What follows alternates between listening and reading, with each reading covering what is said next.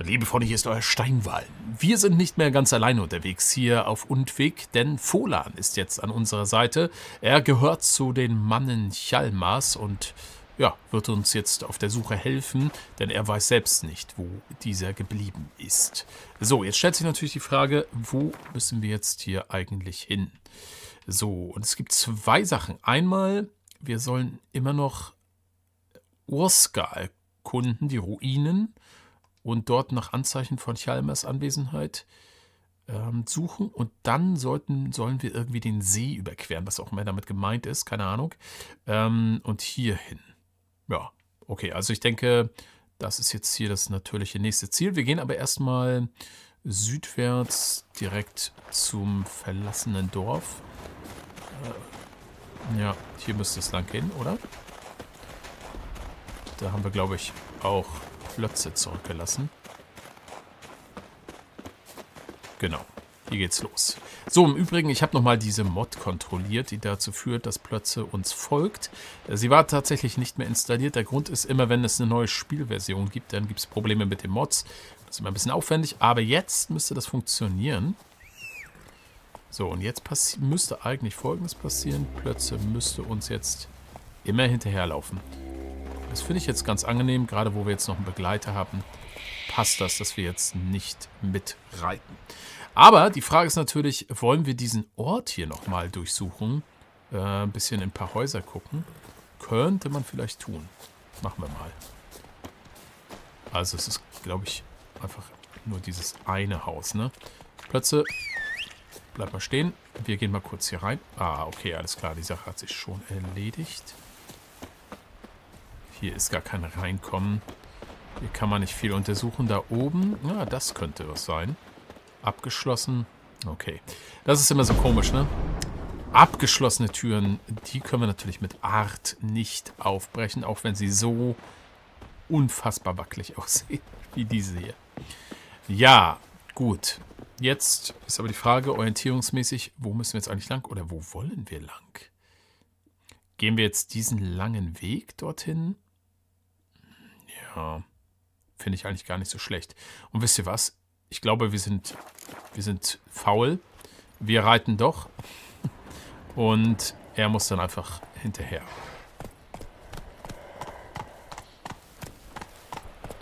So, okay. Also wir folgen jetzt einfach stur diesem Weg. Und ich habe irgendwie gerade das Gefühl, ich gehe in die falsche Richtung. Ja. Tue ich auch. Okay, also wir verfolgen stur den Weg dorthin.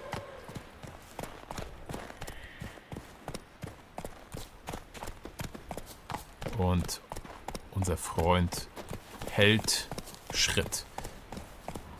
Weil wir ja auch hier nur langsam reiten. So, der Weg geht. Ah, jetzt, Leute, ich muss leider nochmal gucken. Ich habe mir jetzt diese Abkürz äh, diese Kreuzung nicht gemerkt. Ist ein bisschen diffus jetzt. Okay, das führt ins Nichts. Also jetzt einfach mal geradeaus, immer geradeaus. Ja, eigentlich dem Weg folgen und dann müssten wir es eigentlich schon sehen. So kompliziert kann das ja jetzt nicht sein. Also, weiter voran. Ist diese Felsformation irgendwie interessant? Nee. Das Problem ist ein bisschen, dass man den Weg gar nicht so richtig als Weg erkennt. Doch, jetzt geht es. Links hoch. Ist jetzt eigentlich am Morgen? Ne, es ist mitten in der Nacht. Aber es sind wohl Polarnächte hier. Das Ganze wird nicht so richtig dunkel, habe ich den Eindruck. Durchaus anders als in Wählen, ne?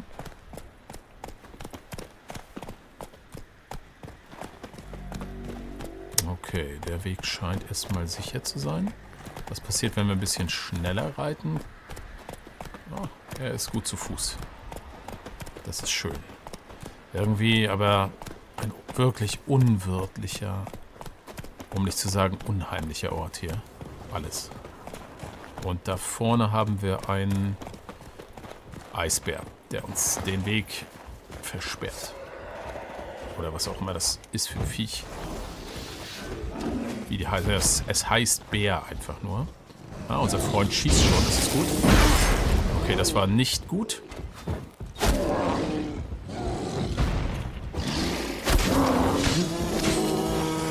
Ja, das bremst du wenigstens.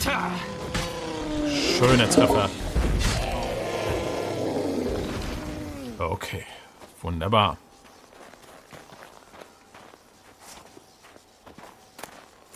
Bärenfett. Danke für deine Hilfe, Folan. Ich behaupte einfach mal, es hat den Bären jetzt auch ganz schön abgelenkt. Die Pfeile. So. Okay. Da vorne geht es ganz offensichtlich nicht weiter. Aber es sieht aus wie eine interessante Formation. Wir gucken mal ganz kurz dahin. Irgendwas ist hier doch, oder? Nee.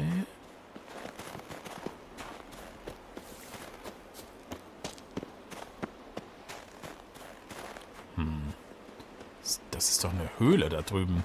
Sehe ich doch von hier. Ja, tatsächlich. Kommt, kommt er mit? Wollen wir die erkunden? Oder ist das manchmal ein Ausgang von der Höhle, die wir später vielleicht noch kennenlernen werden? Ja, man weiß es nicht, ne? Hier ist noch so eine Schmiedequest. Ich gucke einmal rein. Wenn wir da irgendwo runterspringen müssen, wo wir nicht hochkommen, dann lasse ich es, glaube ich. Schwer zu erkennen. Pass mal auf, wir werden diese Höhle uns einfach merken. Das ist jetzt hier nicht unsere Mission. Ich mache aber mal hier ein Symbol auf die Karte. So, das ist ein interessanter Punkt. Hier werden wir zurückkehren. Wir reisen weiter.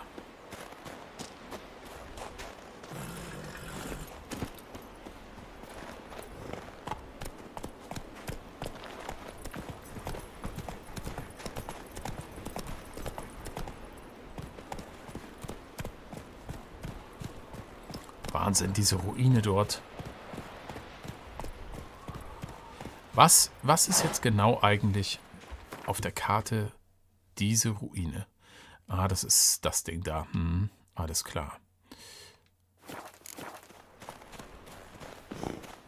Okay, da ist noch ein Eistroll.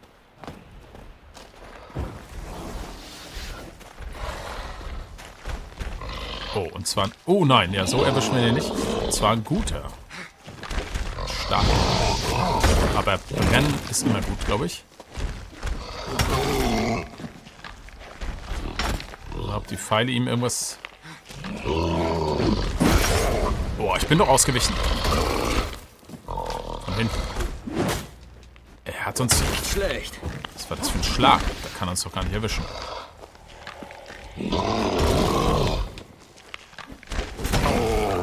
Jawohl.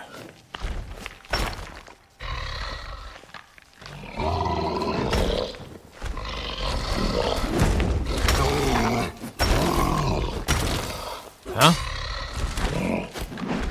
Ja, wir müssen da noch... Ich musste eigentlich noch mal gucken, welche da passt. Uh, oh mein Gott! Das ist ja krass.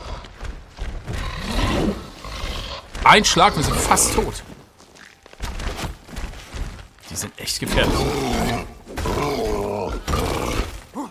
Manchmal sind die Treffer richtig gut. Zum Beispiel jetzt. Okay, wir haben jetzt alle Absude aufgebraucht. Ab jetzt müssen wir eigentlich was anderes machen. Wir müssen mal austauschen.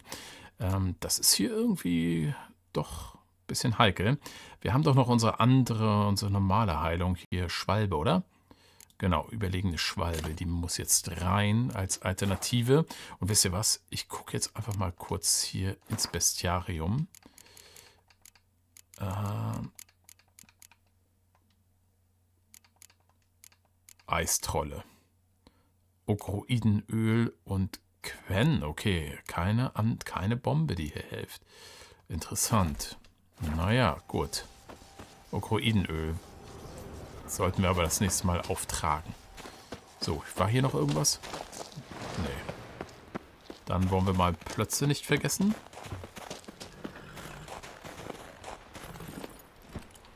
Und weiter geht's. Wir müssten aber gleich an dieser... Ja, das ist der See, den wir überqueren sollen. Und hier unten muss irgendwo diese Ruine sein. Ein ein schmaler Grat.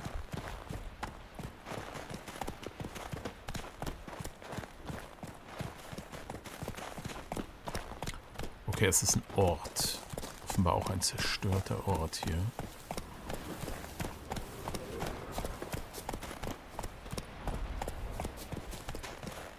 Blut finden wir hier schon mal.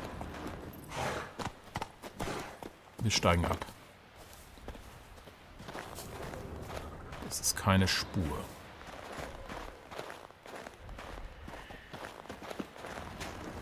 Geister oder sowas sind erstmal noch nicht zu sehen. Hier kommen wir nicht rein. Okay. Oscar.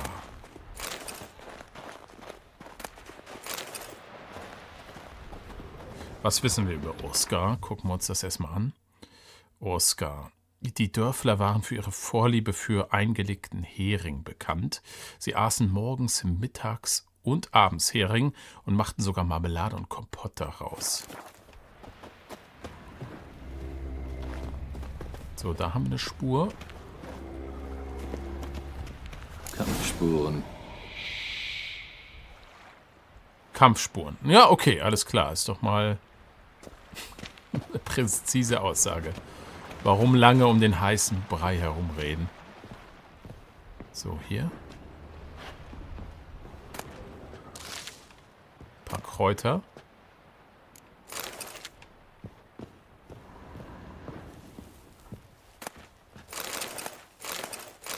Stahlbahn nehmen wir gerne mit.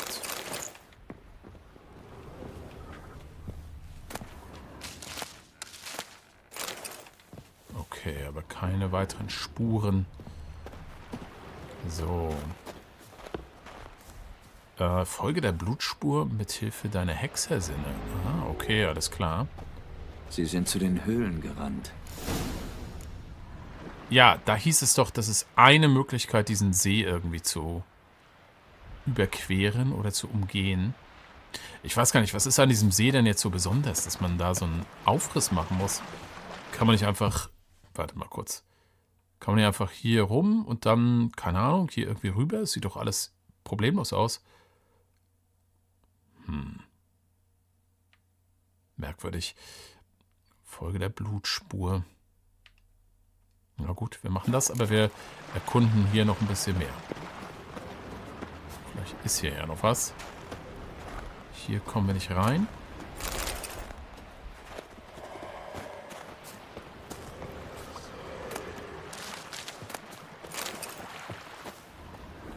Bisschen Material hier scheinbar reinzukommen. Ja.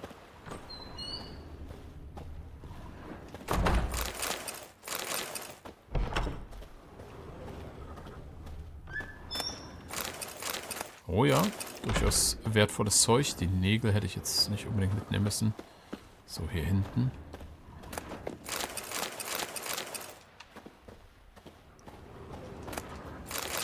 Ja, Silber, schwarze Perlen, Demeritiumbarren sogar. Es war wohl mal eine wohlhabende Gegend. Nun gut. So, da hinten ist noch ein Haus. Das gucken wir uns natürlich auch noch an. Das ist natürlich wieder abgeschlossen. Okay. Gut. Na dann, folgen wir den Blutspuren. Wartet, hier ist noch was zum Untersuchen. Der Riese hat sie gejagt. Aha, okay.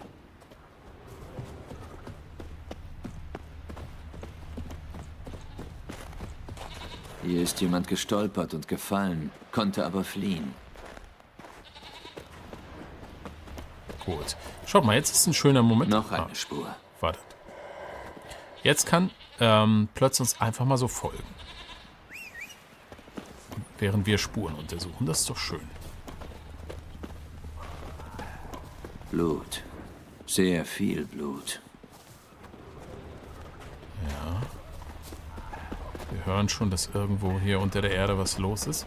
Halt. Hm, ist auf jeden Fall hier vorbeigekommen.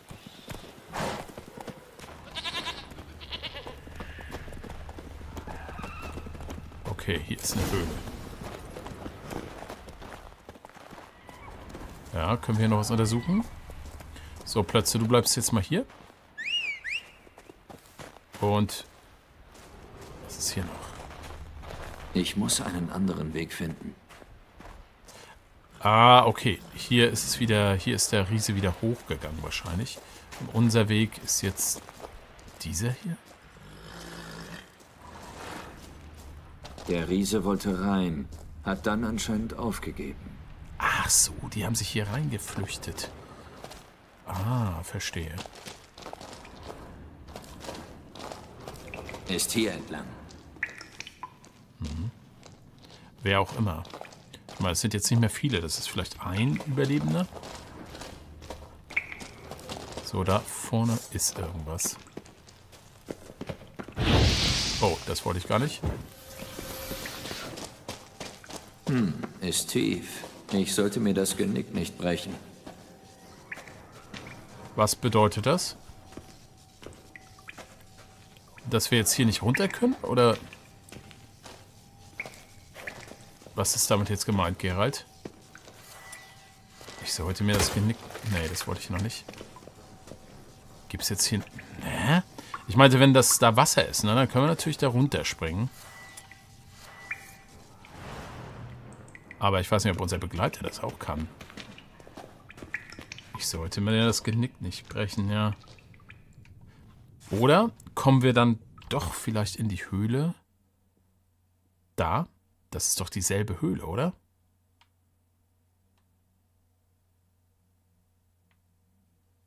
Ist das der sichere Weg darunter? Ah.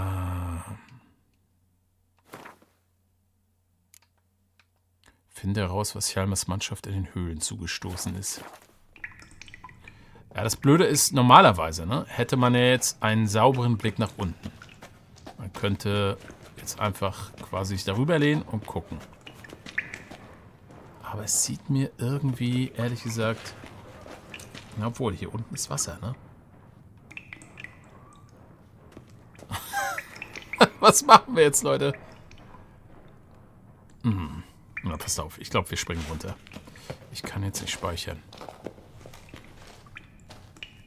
Äh, ja, also wir laufen, wir laufen, machen Anlauf und springen da unten ins Wasser.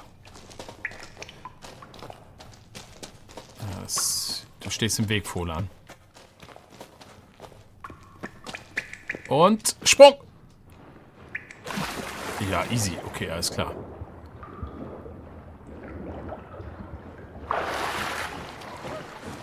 So, wir werden direkt verfolgt.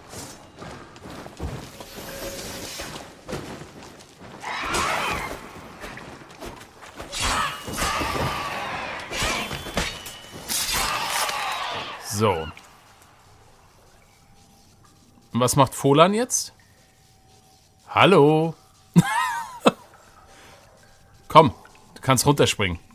Das ist kein Problem hier. Hier kommen wir klar. Hm, traut sich nicht. So, ist hier unten im... Ah, schaut mal, da ist noch eine Leiche. Ist das Fohlan? Ist das Fohlan vielleicht? Oder was ist das?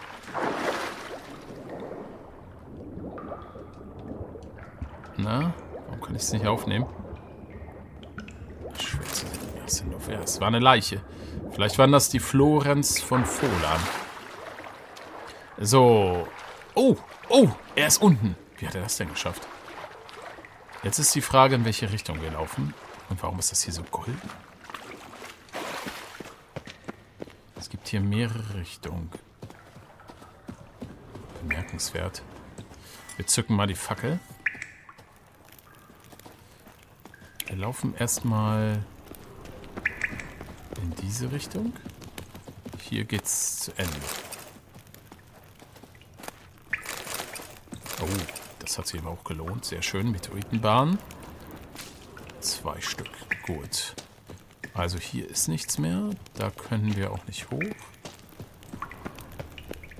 Alles klar.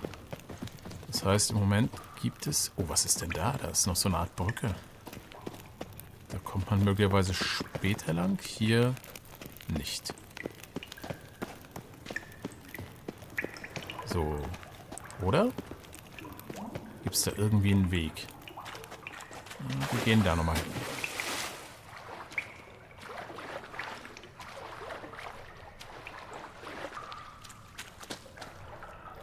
Sieht ein bisschen so aus, als ob es hier entlang geht. Nee, da oben. Ja, Sauberer Schnitt.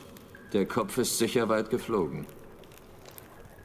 Okay. Ah, tatsächlich. Hier geht es lang. Und wen haben wir hier? Ein von der Truppe. Hat bis zum bitteren Ende gekämpft. Thorsten. Oh, du kennst ihn. So, also hier könnten wir hoch. Das ist schon mal gut. Bevor wir das tun, äh, gehen wir jetzt ans andere Ende.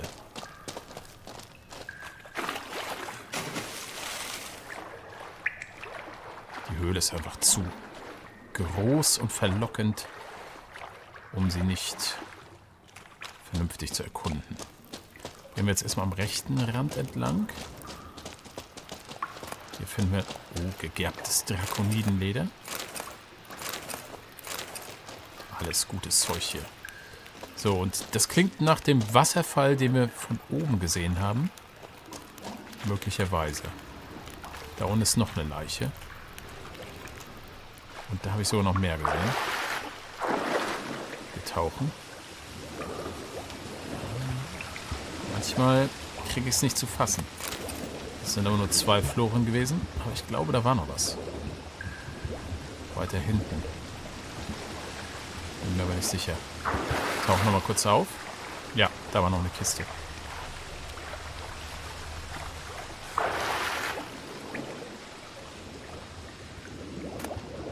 Großer Rungenstein, sehr schön. So, und ich glaube, das ist jetzt irgendwie der Ort, wenn wir hier... Das, das ist, glaube ich, der andere Höhleneingang, oder? Ja, tatsächlich. Da wären wir runtergekommen. Das heißt, wir brauchen das nicht mehr erkunden. Die Sache ist klar jetzt.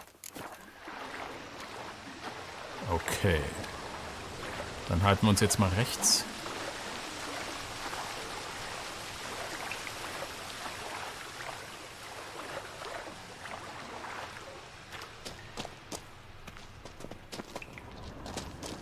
Gerne mit Fackel.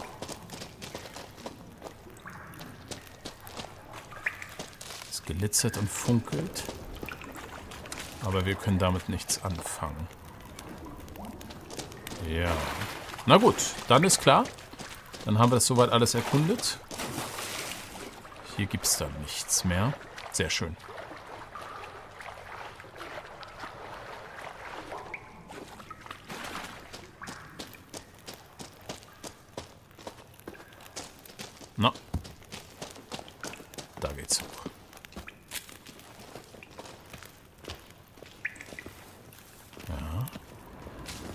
Wartet, hier haben wir noch eine Spur gehabt, oder? Ne, es ist nur allgemein die Blutspur. Können wir nicht untersuchen. Was sind das alles für Vorräte im Übrigen? Die Spitzhacken, die brauchen wir nicht. So, das ist die Brücke, die wir von unten gesehen haben. Da haben wir die nächste Spur. Sie wurde zerstückelt. Wahrscheinlich von zwei Personen. Der Rest der Mannschaft ist weiter. Wie viele mögen da noch übrig gewesen sein?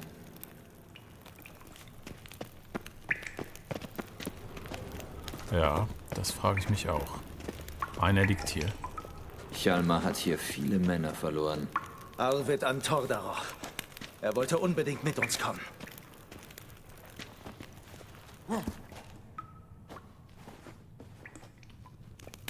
So, ist das ein... Das ist ein Explosionsfass, ne? Da solltest du mit der Fackel ein bisschen aufpassen.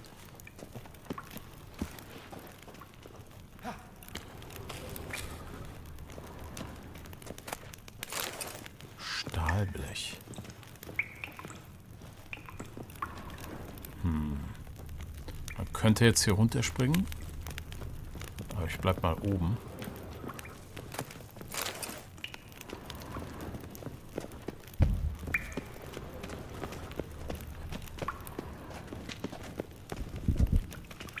Hört man hier. Ja, ist natürlich verlockend, ne? Oh. Oh, was ist hier los? Fackel können wir jetzt mal wegstecken. Ah ja. Eine weitere Spur. Was haben wir hier noch? Kisten über Kisten, die ich aber jetzt nicht untersuchen kann. Vielleicht, weil ich das Schwert gezückt habe. Nein, das sind Explosionsfasser. Oh mein Gott. Müssen wir ein bisschen aufpassen. Was ist denn hier los? Da geht es weiter hoch. Aber wir erkunden jetzt erstmal den Baum da, beziehungsweise diese Spur hier. Der Tunnel ist eingestürzt. Aha. Er feuert schon. Okay, dann gehen wir ran. Vielleicht sollten wir auch feuern. Oder wir warten. Ah, nein! Oh Gott, Gerald! Oh mein Gott, das wäre jetzt richtig schief gegangen. Ja, ja. Machen wir es. Ich gehe hier weg. Nein! Oh Gott!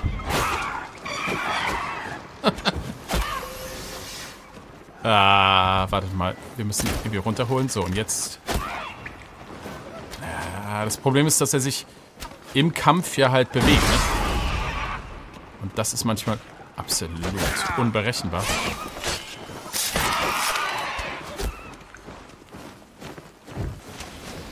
Wir lassen sie lieber kommen. Jawohl. Oh mein Gott, das, das wäre beinahe schief gegangen. So, nehmen wir die Harpien-Eier mit. Ist da oben am Baum noch was Besonderes? Könnte sein, ne? Das ist nur die Spur. Schauen wir mal nach oben.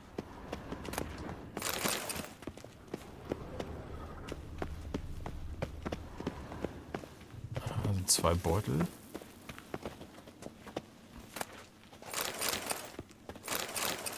Ich frage mich, ob das hier Gold darstellen soll. Dieses Erz, was wir hier schimmern sehen.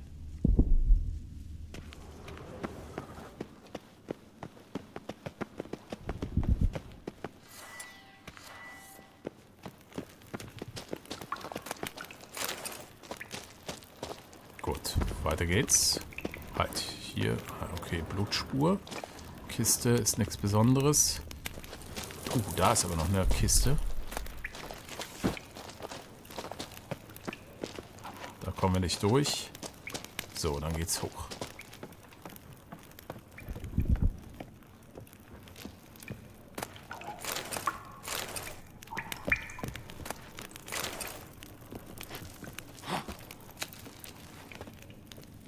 Ja, sie haben sich hier durchgekämpft. Die hat den halben Köcher abbekommen.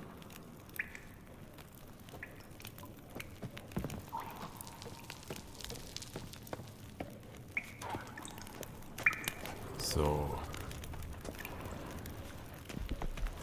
Hier ist zu Ende. Da geht's weiter. Und wer wartet da vorne auf uns?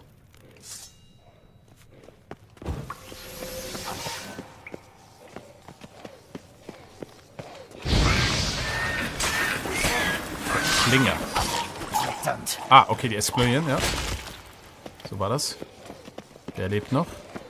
Kommt aber irgendwie nicht weg. Ih. Da ist noch der nächste. Haut er ab? Kommt er? Welche Richtung gehen wir? Hier sind sie wahrscheinlich weiter. Ich würde sagen, gehen wir erstmal hier kurz gucken. Ja, hier ist das Ganze zu Ende.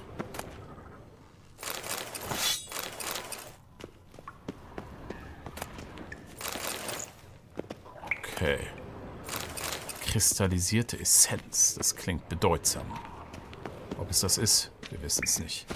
So, er ist da am Kämpfen. Mit seiner am Bogen befestigten Taschenlampe. So, na ihr? Keine Wahl.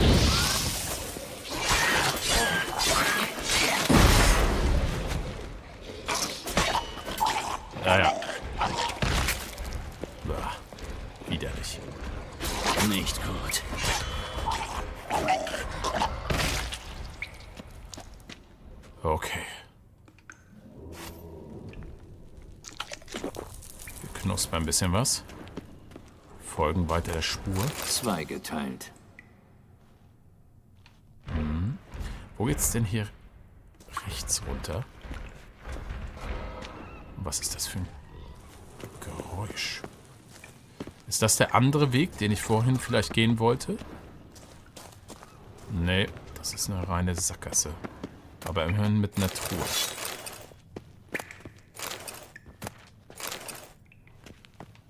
Gut.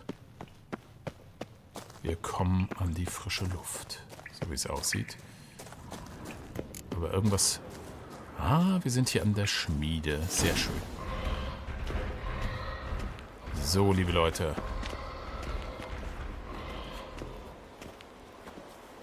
Aber was hier an dieser Schmiede auf uns wartet, das erleben wir gemeinsam mit Folan das nächste Mal. Also, Folan bleibt mal ein bisschen hier. Na, nicht, nicht zu übereilig vorlaufen. Das könnte gefährlich enden. Ja, also, bis zum nächsten Mal dann. Macht's gut. Euer Steinwall.